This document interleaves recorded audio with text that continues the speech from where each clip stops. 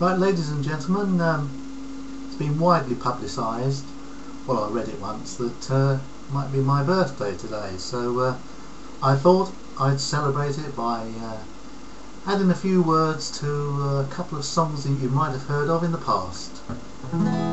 Enjoy it.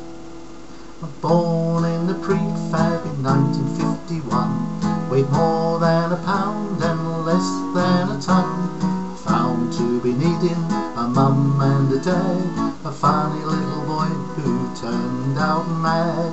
David, David Holness, singer on the YouTube site, on the baby's knuckle, on the baby's knee, where will the baby's dimple be? Baby's cheek or baby's chin, seems to me it'll be a sin if it's always covered by the safety pin. Where will the dimple be? Where will the dimple